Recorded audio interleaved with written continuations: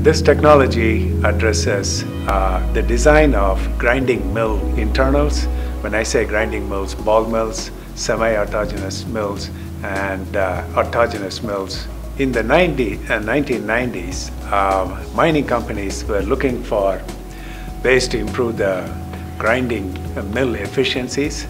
There was uh, no such technology available at that time. And by then, I had been uh, doing research for over 15 years on grinding.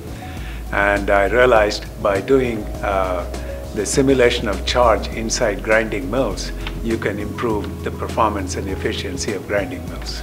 You can actually look at uh, the charge motion inside the mill, how the balls and rocks and everything are moving, and you can get forces, you can look at collisions, you can look at energy expended, and so on. Therefore, you can use that information to improve mill efficiency. A number of organizations are uh, you know, involved in this. This methodology is called discrete element method simulation. This methodology is run on single CPUs. You can uh, rent this, techno this software from some companies and it'll take, as usual, you know, uh, days and days to complete one single run. Whereas compared to that, our GPU technology is really fast. We can do the calculations in a matter of hours.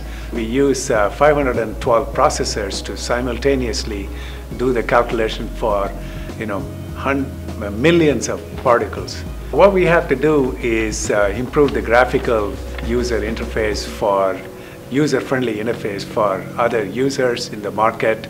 It is highly developed and about 90% developed. We're ready to deliver it to mining companies.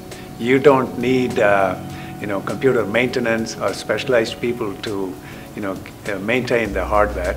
On top of that, the software is extremely very, very simple to use compared to all other codes. This runs really fast, so somebody sitting at a desk can do tens of simulations on a single day. I know everybody else will be thrilled as well.